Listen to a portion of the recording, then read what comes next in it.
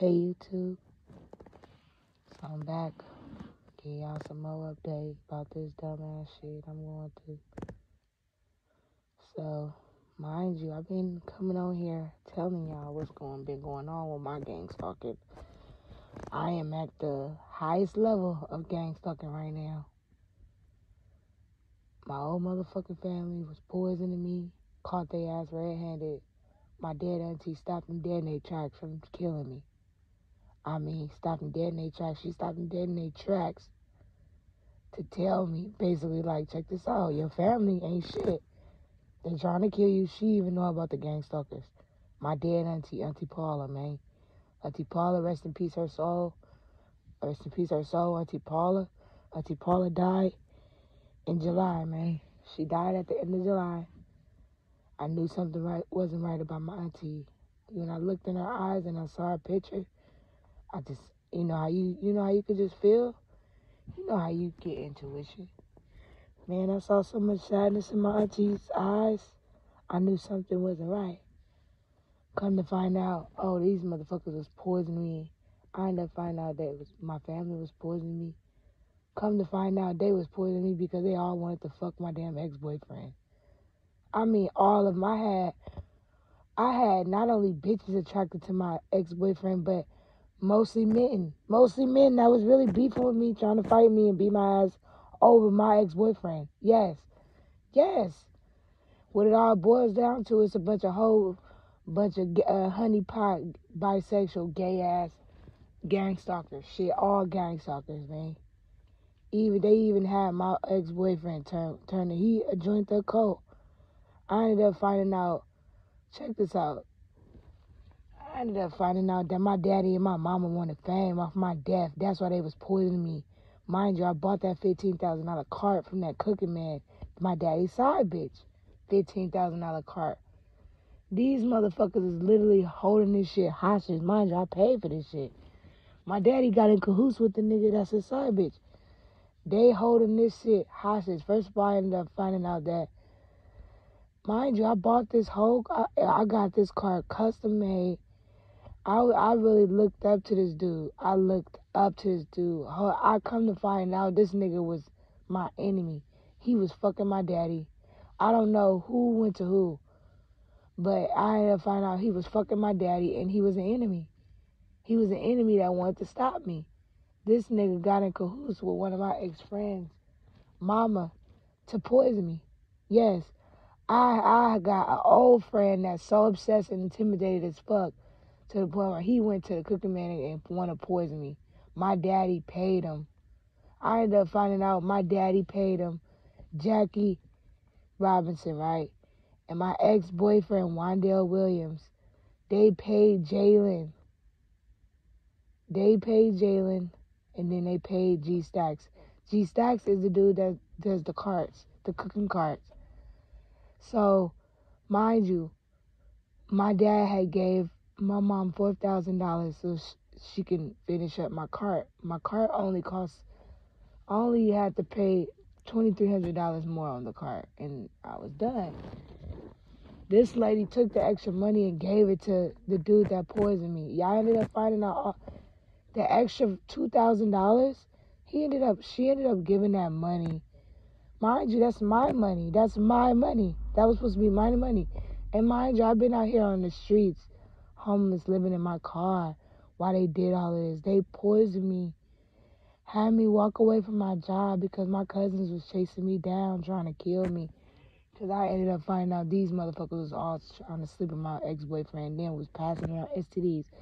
These motherfuckers was trying to purposely give me HIV, STD, and herpes. Yes, they all slept with my ex-boyfriend, was doing black magic.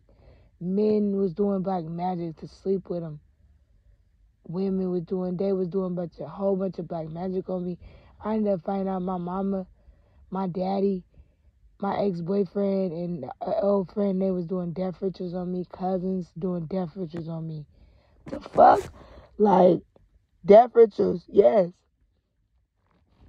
I ended up finding out my nephew, my nephew, he, he was a side bitch too. He went, he went, he went and fucked my ex-boyfriend. They passed around HIV Mind you, when I went on the run, it's called Go Have Fun Leo, man. I'm on the NBC News. I'm on the NBC News, and them people are sad for me. So I named it Go Go Have Fun Leo. When these motherfuckers was joining a cult and doing all that orgy ass shit, that's when they sent me out fucking poison. I come back, I end up finding out they didn't all fuck them. They all fucked them. That's how you know gang stalkers. They all fucked them. They gave this boy herpes and HIV, bruh. Herpes and HIV. I ended up finding out my daddy wanted him to have it. So he was sleeping with. I ended up finding out my ex boyfriend slept with the nigga that I bought the car with. They was in all in cahoots. Just to fuck on each other.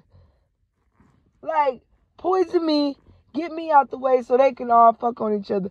I ended up finding out my oldest brother my oldest brother wanted me dead. He was really he was the one having me poisoned because he wanted to fuck him. They was having an affair. Yes, my ex-boyfriend. Then come to find out my ex-gay friend, he was supposed to be my cousin. This nigga, his mama get going going to going to uh, the above to have to sabotage my life and then I come to find out my mom and my daddy is involved. Like these literally these people was literally trying to fucking hold my life the fuck back. That's why I went on that run two months ago. because my ass exposed their I exposed them. I got on the motherfucking Instagram every day exposing these people like it was a fucking job. These people fucked up everything for me. I had, I worked at fucking Facebook. I did DoorDash, and I bought a fifteen thousand dollar cooking cart.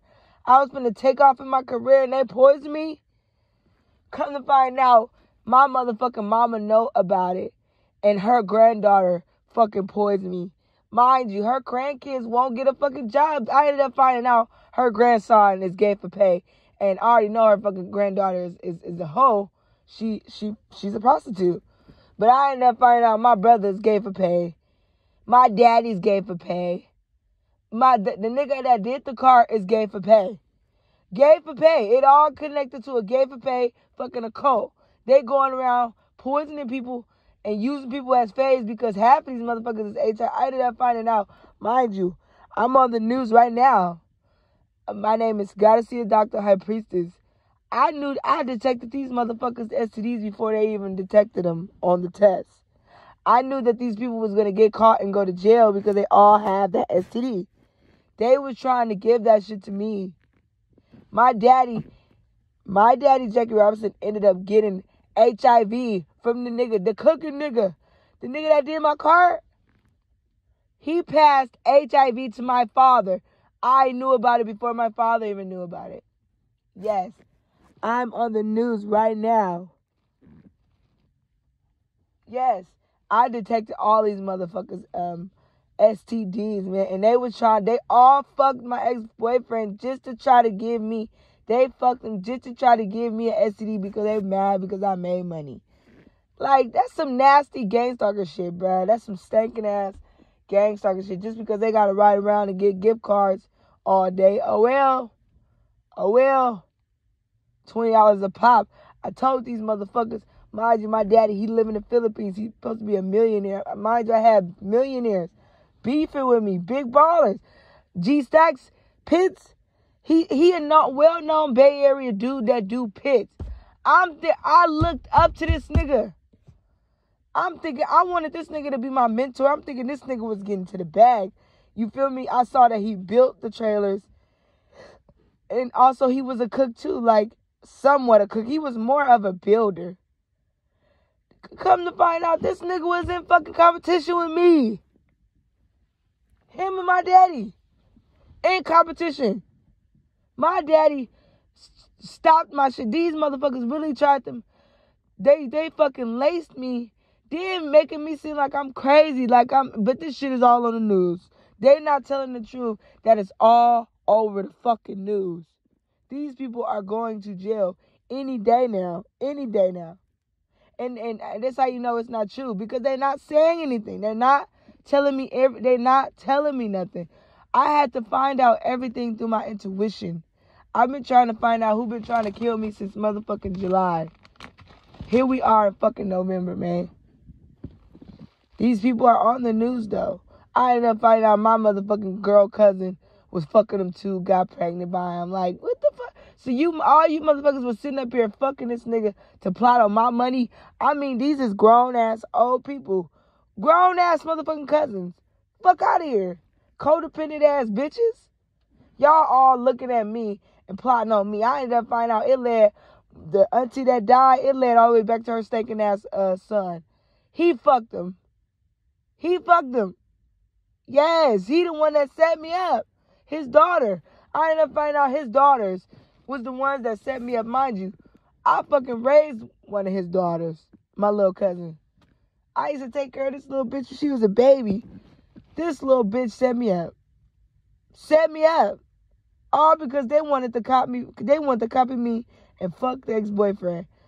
But not only not only them, my daddy and my the daddy and the fucking man who did the car. Weird as fuck. I ain't up finding out my mama cousin poisoned me because they just don't like me, just just not to fucking like me. That's why he poisoned me. Hell nah, this shit is crazy, man. Like I said, I'm gonna keep getting on here, giving y'all update about this shit. But I'm on the highest level of fucking gang stalking, man. I'm in my motherfucking car. I went from having everything together to where these motherfuckers going around telling people that that, that, that somebody laced me, bro, when it was these motherfuckers that did it. But I'm fine. That's the thing I see. That's how you know I'm blessed as fuck. Because I'm fine. But it's like I'm not gonna get away. I'm not gonna let these people get away with this shit. I, I don't give a fuck if it's on the news. If I gotta get up and just keep reporting it. God keep telling me rest queen. Rest queen. They they all going to jail. They going. You know. And I'm about to receive a lot of money, and these people are jealous. Like they doing anything to keep me out in the cold because they know that I'm about to receive money from NBC News. Jealous as fuck, dirty, dirty ass, nasty ass gang stalkers. Like, uh, I don't wish it on nobody what I'm going through. Like, I'm literally, I think I'm just at the little, they're literally at the end. I hope I am, cause I've been going through hell since motherfucking July, man. I mean, I went on the run from LA to motherfucking Vegas. Then I came back out here. Like, God keep telling me put restraining on these bitches. Because, mind you, the cousin that ended up finding out that that was fucking, mind you, nieces was fucking them, cousins. They they stalked me down. Hey, they gang, they found me to jump me. So I ended up finding out this bitch was stalking me the whole time. My mama was stalking me down. My daddy was stalking me down. The niece, the nieces was being sent to stalk me down, and the nephew. The nephew was plotting on my money. Fucked my ex boyfriend. Gave him fucking HIV. Was plotting on my money. Fuck out of here. Grown ass fucking nephew kids. Fuck out of here. I'm not responsible for y'all motherfucking kids. So y'all gonna go sleep with the nigga to try to give me an STD? That's sick as what the fuck we going through people's brain? I don't know, man. It's sick as fuck. But I'll give y'all another update.